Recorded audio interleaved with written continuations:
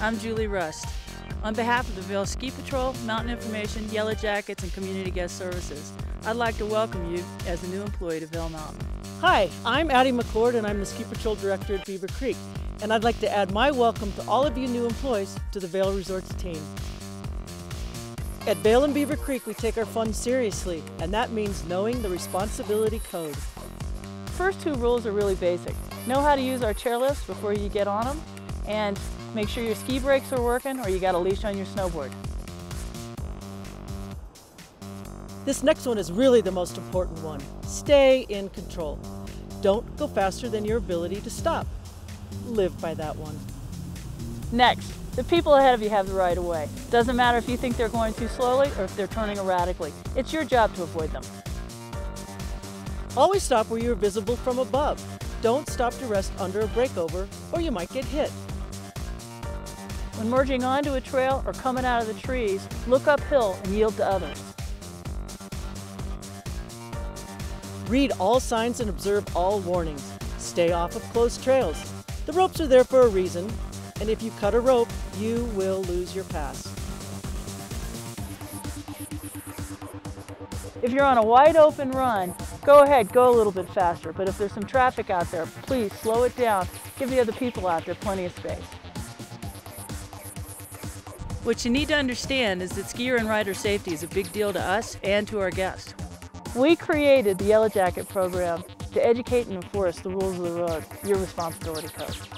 We have a monitored run you can find listed on our grooming report in TVA Daily. The objective of the monitored run is to create a comfortable run for beginners, ski schools, and families. The Yellow Jacket monitored run is a study in respect for each other. So please, when you're on that run, more than ever, set the example. Vail and Beaver Creek have fantastic terrain parks and half pipes. Let's see what the folks at Burton have to say about terrain park etiquette.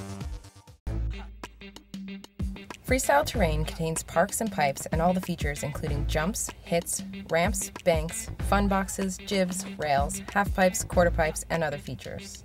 The orange oval is a symbol used by resorts to represent freestyle terrain. It is posted at the top of the terrain park or half pipe and in trail maps. The symbol is usually found with safety information about terrain park use, including SmartStyle. SmartStyle is all about safety and having the knowledge to enjoy your freedom and the freestyle terrain. The three main points of SmartStyle include Look before you leap. Before getting into freestyle terrain, observe all signage and warnings. Use your first run as a warm up run and to familiarize yourself with the park layout and features. Easy style it. Know your limits and ride within your ability. When starting out, look for small progression parks and features and then work your way up to medium or large parks and features. Respect gets respect. Respect the terrain and all others. One person on a feature at a time. Wait your turn and call your drop in. Always clear the landing area quickly. Respect all signs and stay off close features. Remember that respect is important both in the park and on the rest of the resort. So be smart when you're heading down the mountain or to the lift, and save your best tricks for the park.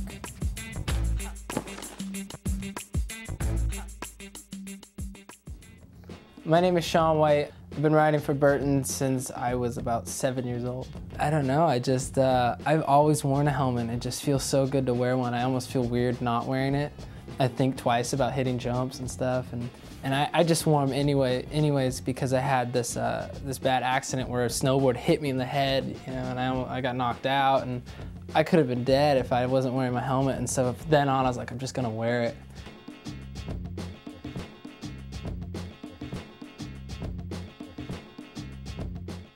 As a Vail Resorts employee, you are held to a higher standard of responsibility when you're on the slopes, in uniform or not.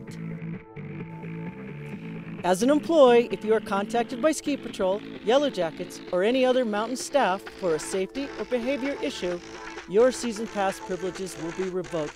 Maybe a week, maybe more. So please, whether you're out on the slopes having fun or you're working, just keep safety in mind. Take care of our guests as well as yourselves.